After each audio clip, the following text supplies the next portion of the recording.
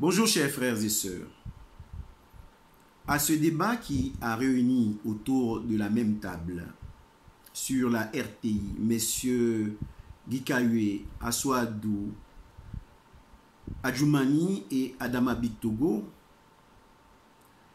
les deux représentants d'Alassane Ouattara, j'ai nommé Adama Bitogo et Adjoumani,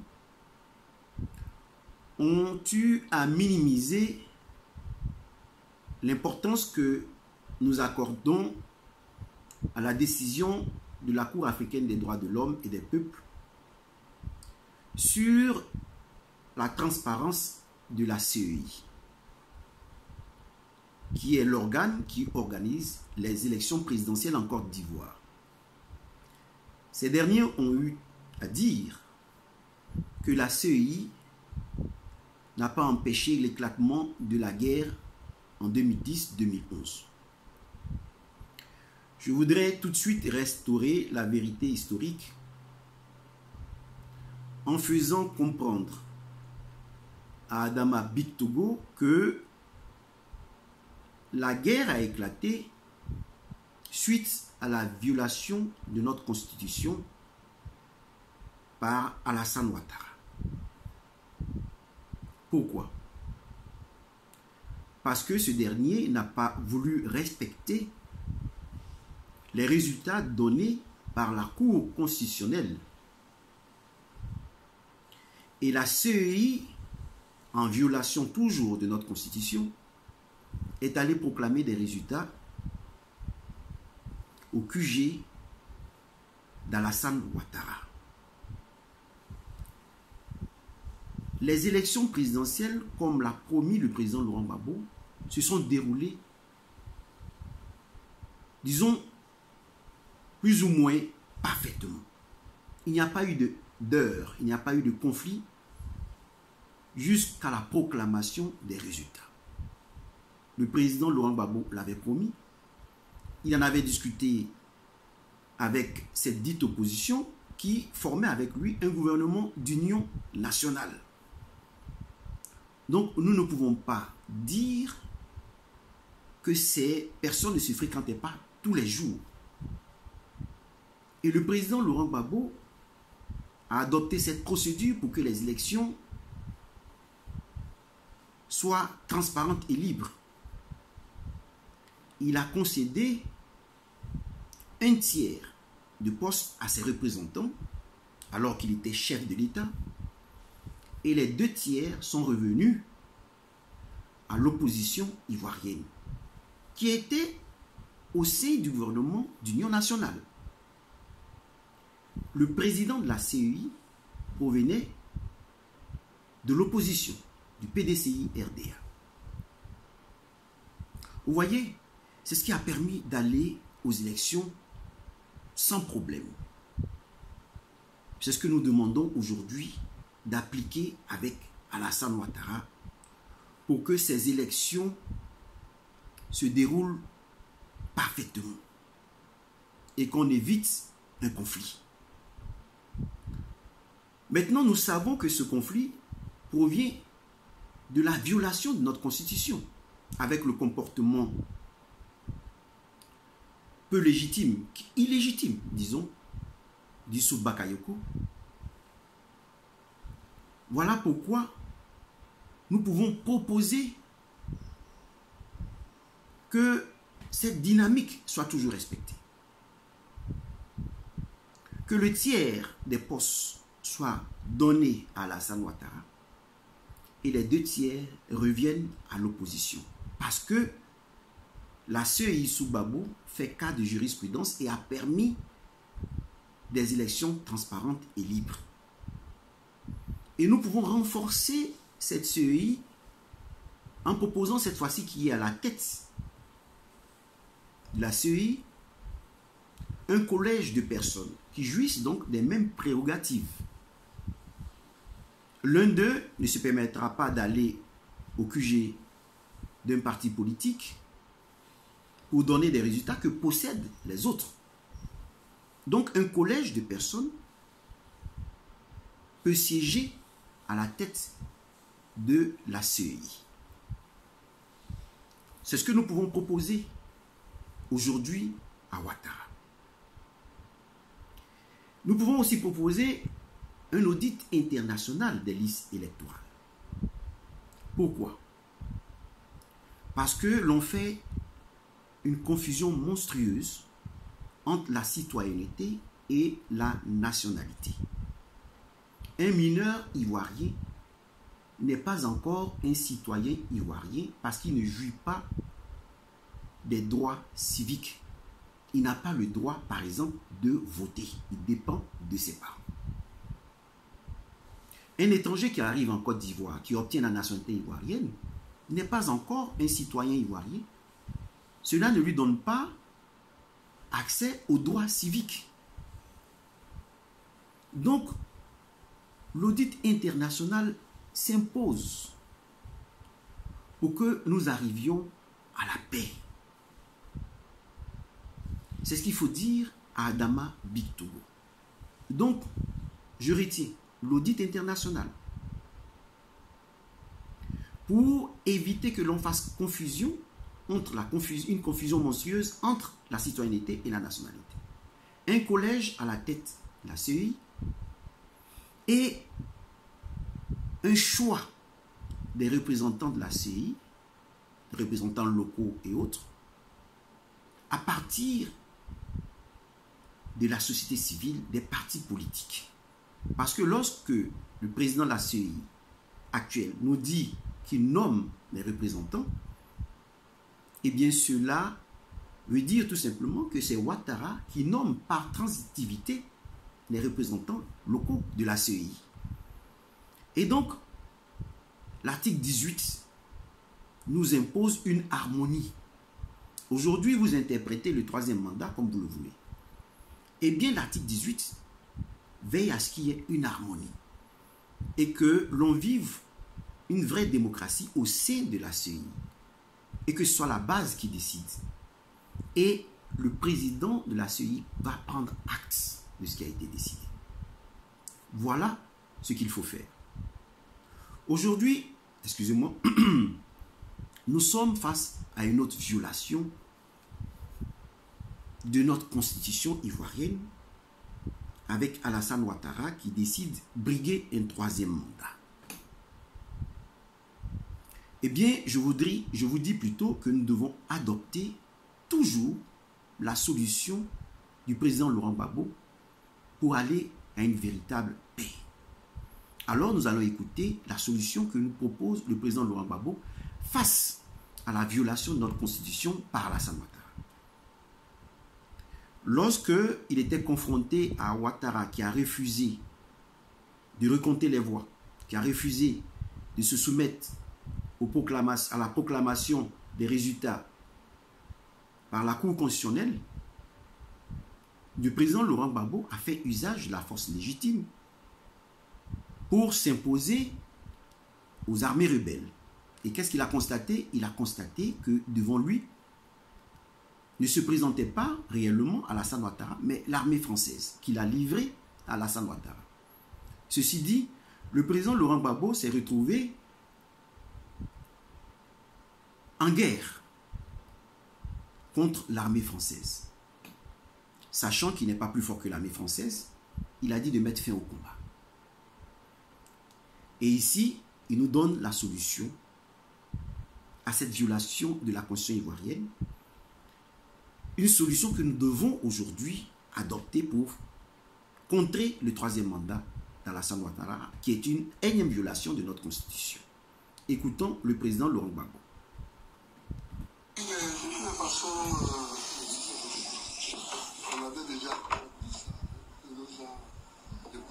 Non, non, c'est pas comme vous dites là, dites aux gens, monsieur, je vous demande d'arrêter la guerre, d'arrêter les armes. Non, ne passez pas à côté. Je ne passe pas à côté. Nous avons déjà conclu d'arrêter. Avec qui Avec qui Nous on répété, c'est pour. J'ai perdu des ce matin, vous savez ça J'ai perdu des hier, vous savez ça Ça fait 4 personnes. Monsieur tête chez vous là, je vous ai tué avec vous Il y a battu quelqu'un là-bas Pourquoi ça a battu quelqu'un Vas-y, commençons. Monsieur le président ici. Voilà.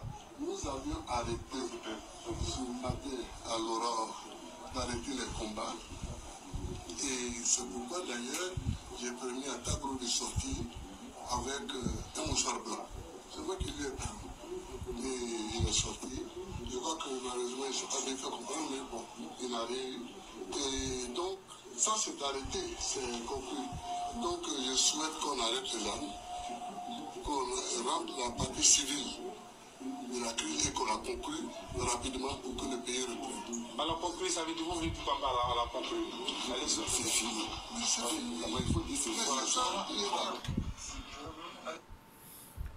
Bon, ici, le président Laurent Gbagbo a décidé que nous arrivions à une solution civile de cette crise parce qu'il a constaté qu'au moyen de la force légitime, il ne pouvait pas venir à bout de ces personnes, de Ouattara et de son armée française et de son armée rebelle. Tous ceux qui fassent aujourd'hui à la violation de la constitution ivoirienne par Ouattara, qui veut briguer un troisième mandat, tous ceux qui veulent faire usage de la force ne sont pas des partisans du président Laurent Gbagbo, qui a dit de ne pas faire usage de la force. Si nous avons une armée légitime, comme au Mali, qui demande à Ouattara de démissionner, cela est légitime. Mais si une telle armée n'existe pas en Côte d'Ivoire, les civils ne doivent pas utiliser la force. On doit demander à Ouattara de quitter le pouvoir. Pourquoi? Parce qu'il a rompu le contrat social entre les Ivoiriens et lui. Qu'est-ce que le contrat social? Le contrat social, sinon du contrat social, était une œuvre de Jean-Jacques Rousseau qui a jeté les bases de la République, de l'État moderne. Nous sommes passés de la monarchie, du royaume, de l'Empire, à l'État moderne, qui permet, ce contrat social permet aux citoyens de participer à la vie politique de la nation. Lorsque Ouattara nous dit qu'il connaît mieux la constitution que nous, ce n'est pas ce qui nous intéresse. Ce qui nous intéresse, c'est ce que Ouattara nous dit de manière claire dans le contrat social. Le référendum qui nous a demandé de voter en 2016 est comparable à un contrat, un contrat social. Et dans ce contrat social, il nous a dit qu'il ne peut pas se présenter pour un troisième mandat. Ouattara ne peut pas briguer un troisième mandat à la tête de la Côte d'Ivoire. Ce qui se passe dans les officines du PDCI, où on parle de révision, ou du RHDP, il faut dire à Djoumani et à Adama Bitogo, cela ne nous intéresse pas.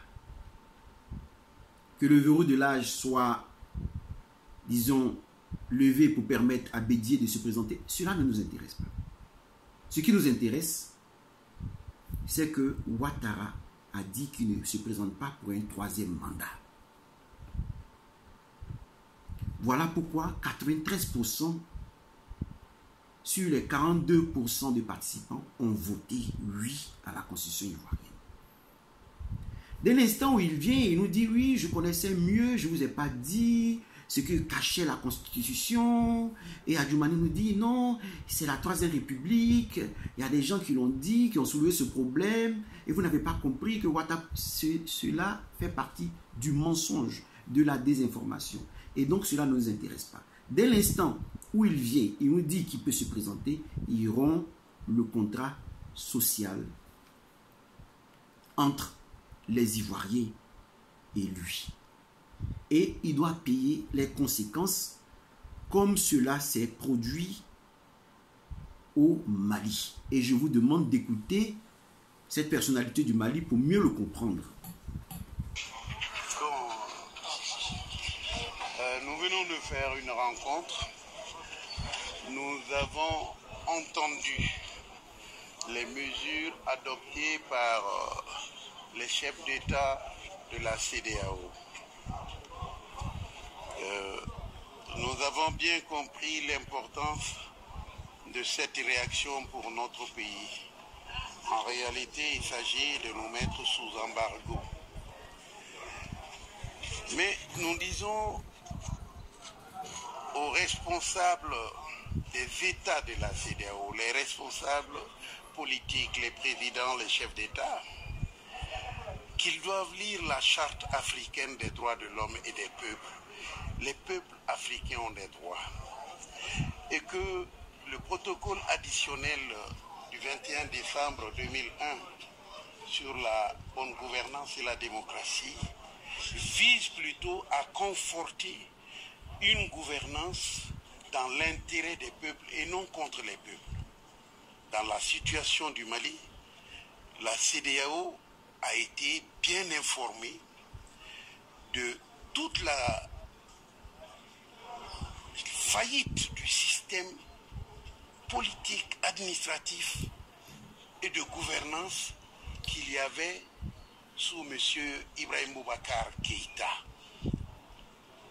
Nous leur avons fait toucher du doigt que ce monsieur, bien que venant après Amadou Toumani Touré, dont la CDAO a acté et presque provoqué la démission, c'est la CDAO qui a dit à Tété de démissionner. Eh bien, ATT a laissé une Assemblée nationale en règle avec nos lois. D'où d'ailleurs la possibilité que la CDAO a eu de nommer M. Djonkunda Traoré, à l'époque président par intérim. Toutes nos institutions étaient en place et aucune règle n'avait été violée par rapport à notre constitution. Alors, ils ont accepté que ce président-là démissionne. Maintenant, on n'accepte pas la démission de M. Ibrahim Boubacar Keïta. Il y a deux poids, il y a deux mesures. Mais en réalité, peut-être que la situation propre des chefs d'État, chacun dans son pays, n'était plus la même. Ça a changé. M. Alassane Ouattara n'avait pas encore 10 ans, il ne voulait pas d'un troisième mandat. M. Alpha Condé n'avait pas encore 10 ans, il ne voulait pas d'un troisième mandat. M. Youssoufi venait d'arriver, il n'était pas en train de terminer son... Bon, moi je vois qu'il y a comme, j'allais dire, une interprétation euh, non pas téléologique des textes de la CDAO, mais une interprétation littérale, ce que nous appelons en droit l'interprétation la plus pauvre et la plus caractéristique de la restriction qu'on veut mettre dans l'interprétation et la compréhension des choses. Donc quand on dit cela, euh, je voudrais dire que la CDAO n'a pas dans ses textes non plus aucune disposition de sanction des peuples. Pourquoi elle ne l'a pas? Parce que les peuples sont souverains. Les peuples sont souverains. Par contre, la CDAO a, en l'article 45 de ce protocole additionnel, la possibilité de sanctionner les gouvernements qui n'arrivent pas à faire la bonne gouvernance. Au lieu de sanctionner... Vous voyez, la CDAO peut sanctionner les gouvernements, les gouvernants, mais on ne les sanctionne pas. Ici, c'est clair. Le contrat social entre IBK et les citoyens maliens a été rompu. Il a été chassé du pouvoir par une armée qui protège les intérêts de son pays. Voilà pourquoi il faut comprendre que la France, qui a livré le président Laurent Gbagbo aux rebelles, à Alassane Ouattara, choisit de mettre toujours à la tête de nos pays des ignorants qui interprètent mal les lois. Le respect des lois garantit la paix. L'irrespect des lois favorise la guerre. Je vous donne un seul exemple tiré de la vidéo du président Laurent Gbagbo au Golf Hotel pour vous le faire comprendre. Voyez, le rebelle Mourou se plaint et dit que aujourd'hui il a perdu quatre personnes. Ce jour, il a perdu quatre personnes. Pourquoi le président Laurent Gbagbo n'avait pas, disons, euh, jeté l'éponge très vite? Il aurait sauvé la vie de ces personnes. Voyez, celui qui parle ignore ce qu'est une armée républicaine, ignore ce qu'est une nation. Et je voulais dire à tous ces jeunes du RHDP qui accuse le président Laurent Gbagbo d'être un criminel, que le président Laurent Gbagbo, lorsqu'il a constaté la violation de la Constitution par Ouattara et son armée rebelle, se devait de protéger le territoire. C'est ce que nous appelons en sciences politiques le monopole de la force. Tout État jouit du monopole de la force, de la violence légitime. Non une violence illégitime, mais une violence légitime. Donc, celui qui est en faute n'est pas le président Laurent Gbagbo qui défendait son pays selon le droit international et national. C'est lui, Mourou, qui est un rebelle, qui viole avec le président, avec euh, Alassane Ouattara, qui était à l'époque un candidat, seulement un candidat, qui viole la constitution ivoirienne. Et donc, quand vous dites que le président Laurent Gbagbo est un criminel, vous n'avez rien compris. Le criminel, c'est Alassane Ouattara, qui envoie des policiers et des gendarmes, accompagnés par des milices, qui sortent attaquer les marcheurs.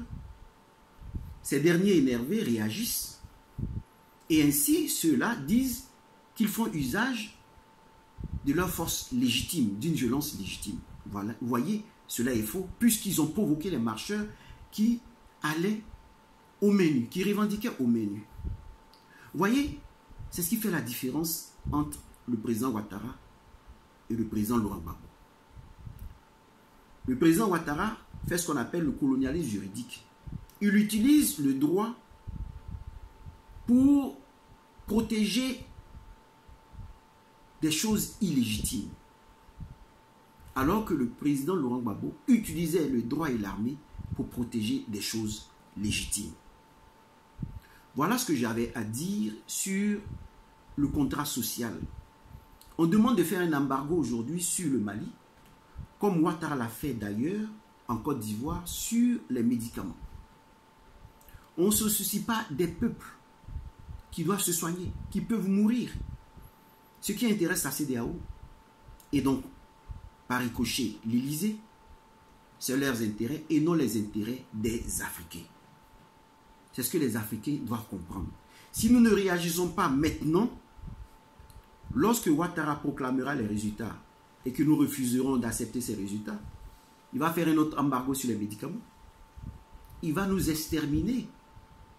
Utiliser ces, armes, ces hélicoptères Mi-24 pour nous bombarder. Voilà ce à quoi il faut s'attendre. Parce qu'ils étaient sur le point de le faire au Mali. Voilà ce à quoi nous devons nous attendre. Voilà pourquoi, avant que cela n'arrive, il faut que la société civile, les femmes puissent marcher, laisser les rues de Ouattara, longer la voie, manifester, respecter les mesures barrières, et cela permet de contourner son état d'urgence, tout simplement. Il veut que ces militaires puissent circuler librement. Enfin, je ne dis pas ces militaires qui ne sont pas encore entrés sur scène, je parlerai de ces policiers ces gendarmes, qui le fassent. Mais vous respectez les mesures barrières, longez les voies à 3-4 et manifestez. Ces voies seront libres, il n'y aura personne sur les voies publiques, et ainsi l'article 20 sera respecté en conformité avec l'état d'urgence qu'il a déclaré pour vous empêcher de marcher. Aujourd'hui, un embargo sur le Mali, demain ce sera un embargo sur la Côte d'Ivoire de nouveau pour nous faire mourir, pour voler nos terres, pour posséder nos maisons, pour faire de nous des apatrides, comme il le fait d'ailleurs déjà avec le président Laurent Gbagbo. Donc si nous ne réagissons pas, voilà le projet de l'Élysée. Merci.